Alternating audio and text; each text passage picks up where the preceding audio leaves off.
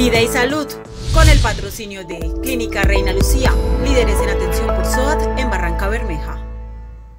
Los casos por COVID-19 continúan en Barranca Bermeja. Este jueves se registraron 85 nuevos contagios en el puerto petrolero y dos mujeres de 52 y 92 años de edad fallecieron por esta enfermedad. 134 personas más han logrado recuperarse. Actualmente los casos han disminuido. A la fecha el número ha descendido a 1.478 contagios en la ciudad.